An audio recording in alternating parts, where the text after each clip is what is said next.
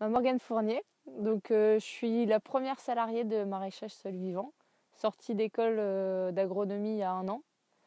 Et euh, en fait, je bosse pour cet asso parce que j'ai toujours rêvé de bosser pour la recherche, ce qu'on appelle recherche participative actuellement, c'est-à-dire la recherche par les agriculteurs et pour les agriculteurs. Et bah, j'ai rencontré maraîchage sol vivant par chance.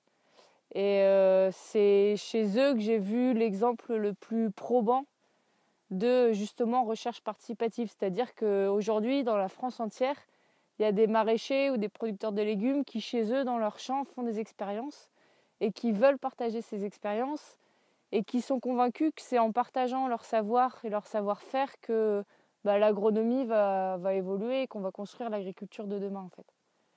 Et bah, c'est ça, c'est l'histoire de maraîchage sol vivant. Ça a commencé en 2012 avec euh, des rencontres 250 euh, participants qui se réunissent pour parler de sol vivant.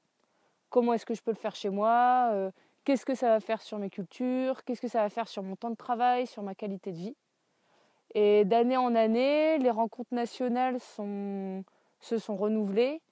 L'an dernier, elles ont été faites sur deux jours. Donc euh, la matinée des conférences, l'après-midi des ateliers.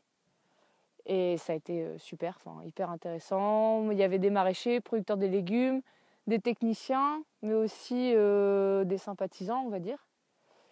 Euh, et, donc c'est depuis ces rencontres, entre guillemets, et un peu avant que l'association, enfin que le réseau s'est formalisé en association, mais l'association c'est juste une forme juridique.